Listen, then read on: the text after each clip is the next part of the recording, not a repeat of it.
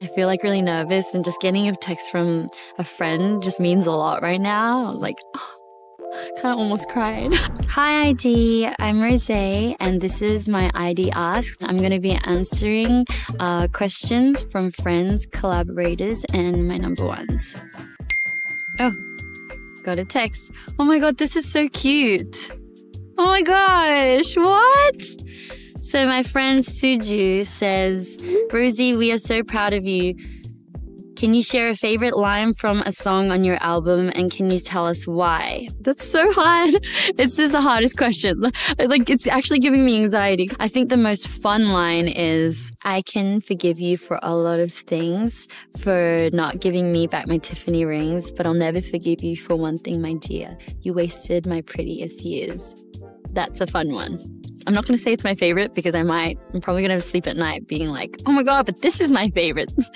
but it, I definitely think that's like one of the most fun lines I have in the album. Thank you, Suju. Oh, Benny Blanco. Interesting. How did you guys get this? If you were gonna die tomorrow, what's the last meal you'd have? If the world was ending, my last meal would be this tuna kimchi stew that my mom makes and just anything my mom would make. I'd like whatever she gives me, I would gobble it up and that'd probably be my best meal. Wow, Benny, hi.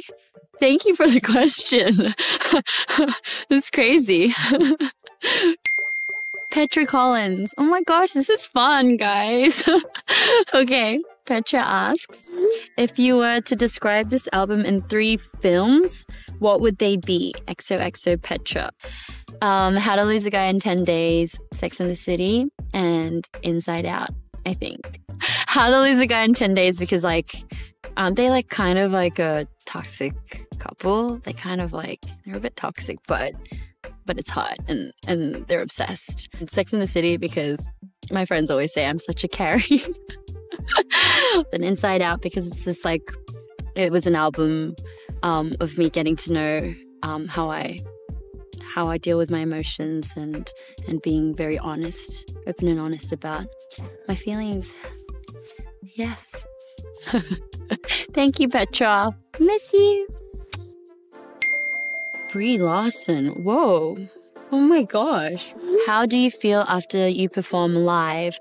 I personally get a huge adrenaline rush. Um, my friends and family would come to see me after shows and they would be like, Oh my gosh, you must be so tired. Thank you for meeting me. And I'm, I'm more than happy to meet my friends and fam- family after a show. Like, I have all this energy built up inside of me. So I'm usually really like ready to celebrate. Um, that I'm like off work and I did a great job, hopefully.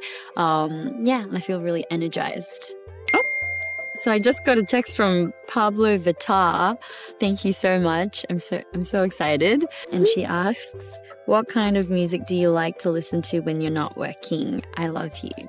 Lately, I've been listening to my album um, because I've noticed that once you release music, it kind of becomes the world's. So I'm trying to enjoy my last few moments with it by myself um, because it's still like, they still feel like my babies. But then if I like put it up into the world, I feel like I'm going to feel like, I don't know. It, it, it, always feels a bit different once it's out. So I've been trying to listen to my album as much as I can lately. Usually it stresses me out, but now it's like all wrapped up. And that's what I have to settle with. So yeah. Ooh, so I got a text from Hannah Diamond. Thank you, Hannah, for sending in your question. She asks, Who would be on the creative dream team to bring your artistic vision to life? I think I may have gotten my my dream team, which is which is Bruno. Um, so I had APT, um, the song, and um, everyone was so excited about it, and it was definitely like a big mission to kind of have that come to life?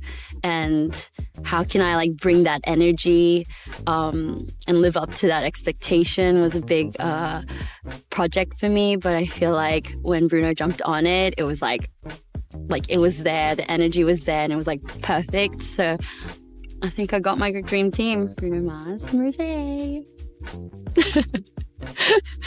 oh, got a text from Bella Poarch.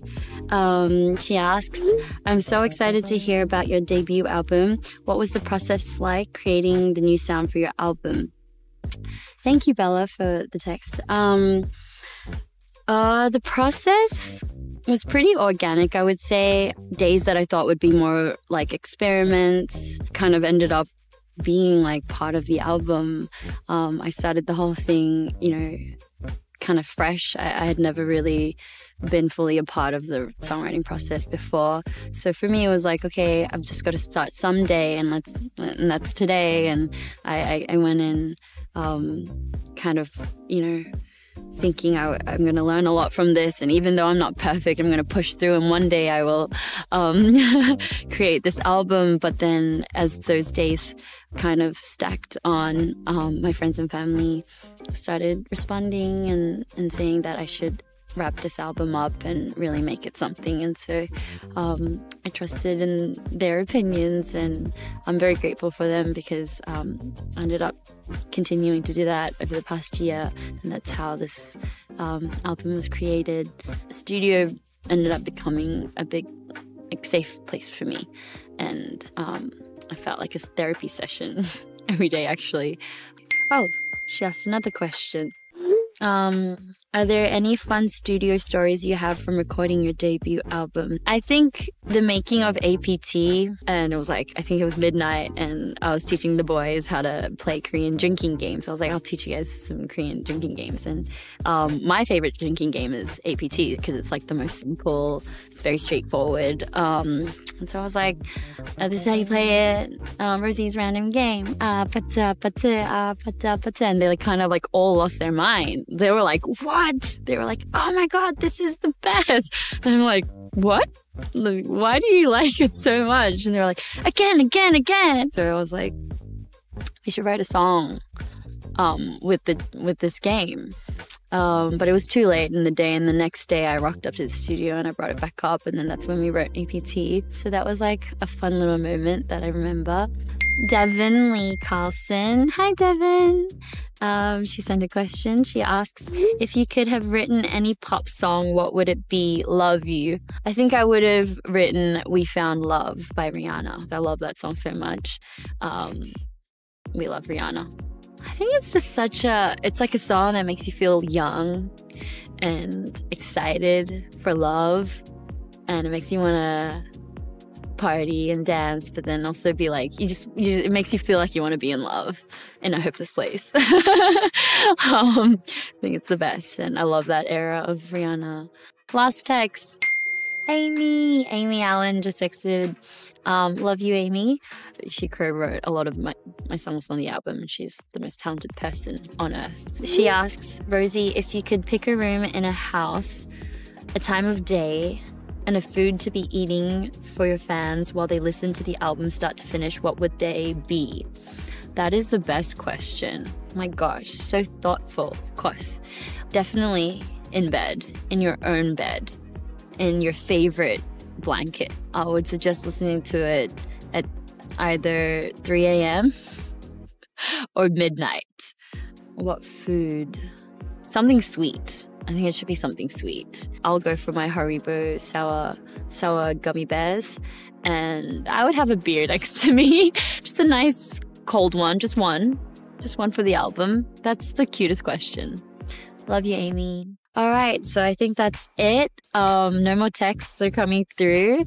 Um, thank you all for watching. I'm Rosé, and that was my i-D Asks. Bye, i-D. Ah, pata, pata, ah, pata.